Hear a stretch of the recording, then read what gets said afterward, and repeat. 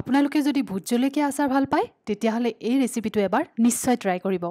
So' hello' hello' everyone welcome to Chetas kitchen Asomiya পাকঘৰলৈ সকলোকে আদৰণি জনাইছোঁ।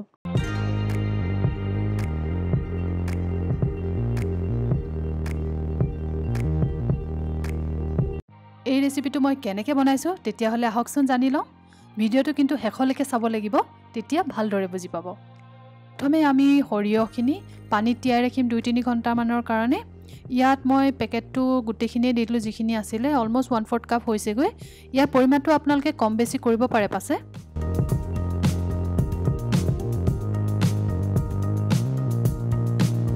এয়া মই পানী দিছোঁ ইয়াত সৰহকৈ পানী দিব সৰিয়হখিনি যাতে ভালকৈ ফুলি যায় তেনেকৈ ডুবি যোৱাকৈ পানী দিব। এইখিনি মই তিয়াই ৰাখিছিলোঁ একদম ধুনীয়াকৈ ফুলি উঠিছে। এই তিয়াই থোৱা সৰিয়হখিনি এতিয়া মই ভালকৈ ধুই ল'ম এবাৰ। এয়া লৈছোঁ ভোট জলকীয়া বা ঘোচ চিলি যিটো ৱৰ্ল্ডৰ সতেজ চিলি বুলি জনা যায়। কেৱল অসমতে পোৱা যায় বাহিৰলৈ এক্সপৰ্টহে কৰা হয়। ইয়াৰে মই ছটামান চিলি আছে তাৰে মই এটা ৰাখি থৈ দিম যিটো চবচে জৰুৰী কাম ফটোৰ কাৰণে ৰাখি থ'ম। এতিয়া এখন কেঁচিৰে মই ভোট জলকীয়াখিনি সৰু সৰুকৈ কাটি ল'ম।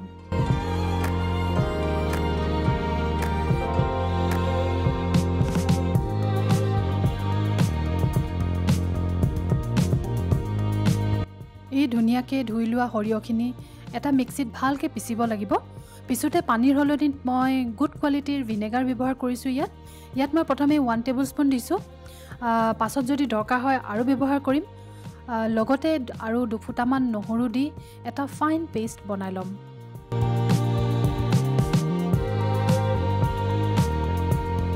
সৰিয়হখিনি ধুনীয়াকৈ গুড়া হ'লে বেছি ভাল হয়। লগতে ভিনেগাৰৰ অকণমান টেঙা ভাৱটো থাকিব লাগে সেইকাৰণে ভিনেগাৰ অকণমান বেছি হ'লেও একো বেয়া নহয়। এতিয়া পাঁচ ফুটামান নহৰু মই অকণমান খুন্দুনাত থেতেলিয়াই ল'ম একেবাৰে গুড়া কৰিব নালাগে অকণমান ভাং খালেই হয়।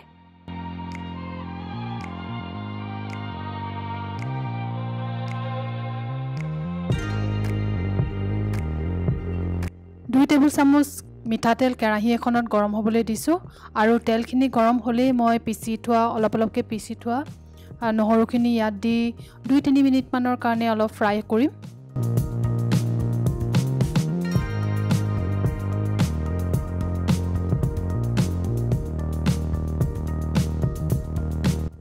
নহৰুখিনি অলপ ভাজ খালেই ইয়াত পিচি থোৱা ন সৰিয়হৰ পেষ্টখিনি দি দিছোঁ।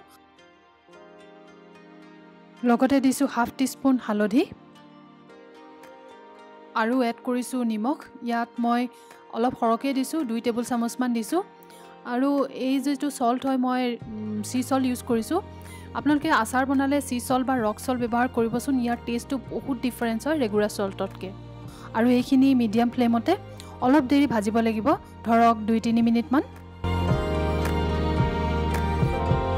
মাজতে সৰিয়হখিনি কেৰাহীত লাগি জ্বলি নাযাবৰ কাৰণে অকণমান মই পানী এড কৰি দিছোঁ। তাৰপিছত এইখিনি লৰাই লৰাই মই ভাজি থাকিম অকণমান দেৰি। দুই তিনি মিনিটমান ভজাৰ পাছতে মই ইয়াত ভোট জলকীয়াখিনিও এড কৰি দিলোঁ। আৰু এইখিনি এতিয়া মিডিয়াম টু শ্ল' ফ্লেমতে ভাজিব লাগিব যেতিয়ালৈকে ইয়াৰ পানীখিনি ভালদৰে শুকাই নাযায়। সৰিয়হখিনি এনেকৈ শুকোৱাৰ পাছতেই মই গেছটো অফ কৰি দিলোঁ। আৰু এইখিনি এতিয়া অলপ ঠাণ্ডা হ'বৰ কাৰণে ৰাখি দিম। ইয়াত মন কৰিব যাতে সৰিয়হখিনি ভাজোঁতে কেৰাহীত লাগি ধৰি যাতে জ্বলি নাযায় নহ'লে বেয়া গোন্ধ ওলাব এতিয়া এইখিনি মই বন্ধ কৰি ঠাণ্ডা হ'বৰ কাৰণে ৰাখি দিছোঁ। ইয়াৰ পাছতেই আহিব আমাৰ মেইন কামটো। আচাৰখিনি ৰুম টেম্পাৰেচাৰত আহিল। এতিয়া ইয়াত মই তিনি টেবুল চামুচমান কেঁচা মিঠাতেল এড কৰিছোঁ। ইয়াৰ পৰিমাণটো অলপ বঢ়াবও পাৰে বা কমাবও পাৰে। আৰু লগতে অকণমান পাঁচফোৰণো এড কৰিছোঁ। এইখিনি এড কৰি মই ধুনীয়াকৈ মিক্স কৰি ল'লোঁ। পিছে ইয়াত কেঁচা মিঠাতেল আৰু পাঁচফোৰণ ব্যৱহাৰ নকৰিও আচাৰখিনি এনেকেই বটলত ভৰাই থ'ব পাৰে। কিন্তু পাঁচফোৰণ আৰু মিঠাতেল এড কৰাৰ কাৰণে ইয়াৰ এটা ডিফাৰেণ্ট টেষ্ট হৈ যায় যিটো খাবলৈ বহুতেই ভাল লাগে আৰু পুৰণা হ'লেতো আৰুৱেই ভাল লাগে। সদায় সদায় একেটা টেষ্টটো কেতিয়াবা আমনি লাগে নহয়নে? আৰু সেইকাৰণে অকণমান বেলেগকৈও বনাই চাব লাগে। এই আচাৰখিনি এতিয়া এটা চাফা চিচাৰৰ বটলত ভৰাই থ'ম আৰু মাজে মাজে ৰ'দত দি থাকিম। যদি ৰেচিপিটো ভাল পালে তেতিয়াহ'লে লাইক শ্বেয়াৰ আৰু কমেণ্ট কৰিবলৈ নাপাহৰিব আৰু মোৰ চেনেলটো ছাবস্ক্ৰাইবো কৰিবলৈ নাপাহৰিব। তেতিয়াহ'লে আজিলৈ আহিছোঁ। নমস্কাৰ।